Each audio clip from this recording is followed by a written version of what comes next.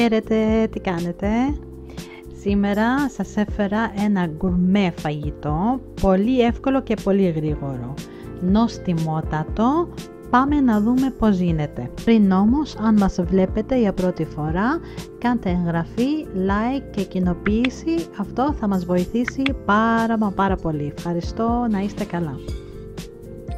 Αφού ετοίμασα την ιδιαίτερη γέμιση αλλά και άδειασα τη ψύχα από τα κολοκυθάκια μου στο πρώτο μέρος της συνταγής αυτής ήρθε η ώρα να τα γεμίσω. Με καθαρά χέρια πολύ εύκολα και γρήγορα για να φτάσω στο επόμενο στάδιο που θα σας εντυπωσιάζει πάρα πολύ και αυτό είναι να τηγανίσουμε τα γεμιστά πλέον κολοκυθάκια μας σε καυτό λάδι. Μη φοβάστε, δεν θα απορροφήσει πολύ λάδι και το μυστικό κρύβεται στη ψύχα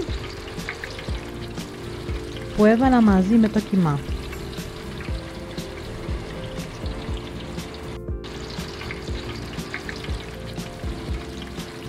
Κοιτάξτε τι ωραία που έχουν μείνει. Καταπληκτικά. Αφού τηγανιστούν καλά, τα στραγγίζουμε πάρα πολύ καλά ε, και τα αφήνουμε πάνω σε ένα απορροφητικό χαρτί μέχρι να ετοιμάσω τη σάλτσα από γιαούρτι που ε, θα περιέχει τα εμιστά κολοκυθάκια που έχουμε προτιγανίσει. Για τη σάλσα γιαουρτιού, όπως είδατε, έχω αδειάσει ένα κιλό στραγγιστό γιαούρτι στην κατσαρόλα μου και στο ίδιο σκεύος που είχε το γιαούρτι βάζω λίγο νερό από τη βρύση και δύο κουταλιές της σούπας corn flour και τα ανακατεύω πολύ καλά. Βέβαια καλύτερα θα ήταν, δεν είχα όμως, ε, να χρησιμοποιείτε ε, γιαούρτι, παραδοσιακό γιαούρτι κατσικίσιο ή πρόβιο πύλινο ε, διότι είναι λίγο, έχει οξύτητα μέσα και βγαίνει το φαγητό πιο νόστιμο. Βάζω τώρα 4 ασπράδια από 4 μικρά αυγά και το μείγμα που έφτιαξα πριν. Τα ανακατεύω πολύ καλά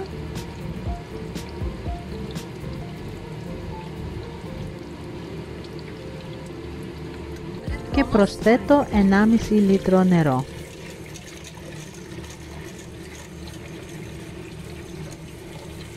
Πάλι από τη βρύση, όχι βρασμένο. Τα ανακατεύω καλά και βάζω την κατσαρόλα πάνω από τη φωτιά μέχρι να πάρει βράση, ανακατεύοντας όλη την ώρα. Αλλιώς θα χαλάσει το γιαούρτι. Τώρα Βάζω μέσα στο γιαούρτι τα κολοκυτάκια μας που έχω πρώτη γανίσει.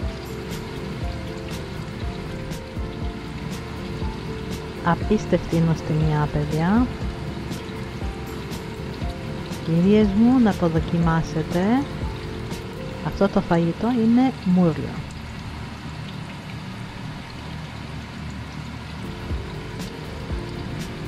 Λοιπόν αφού ε, βάζουμε όλα τα κολοκυτάκια μέσα στο γιαούρτι. Το, τα αφήνουμε μαζί να βράσουν ε, για 15 λεπτά σε σιγανή φωτιά όμως. Μη μας αρπάξει η σάλτσα μας.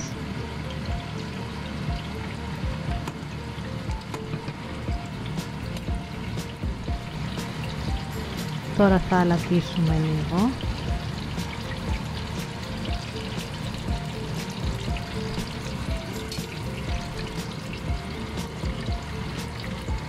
λίγο με το, μαλακό που λέμε ανακατεύουμε λίγο από κάτω έτσι.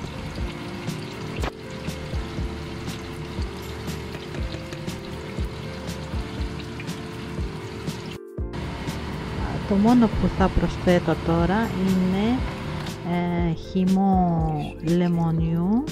Επειδή είχα στραγγιστό γιαούρτι και δεν έχει πολύ οξύτητα μέσα και πρέπει να έχει. Αυτό το φαγητό το χρειάζεται. Οπότε λίγο στο τέλος το κάνει πολύ ωραίο.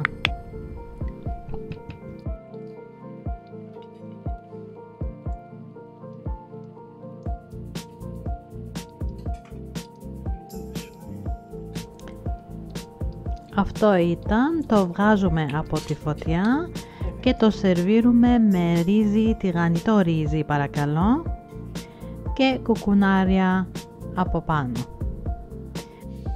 Φανταστική σάλσα. Ε, νομίζω ότι δεν το έχετε ξαναδοκιμάσει και είναι μια ωραία πρόταση για σας να το κάνετε, να το φτιάξετε, να το χαρείτε και να μου στείλετε φωτογραφίες να τις κοινοποιήσω σε story στο Instagram. Καλή σας όρεξη!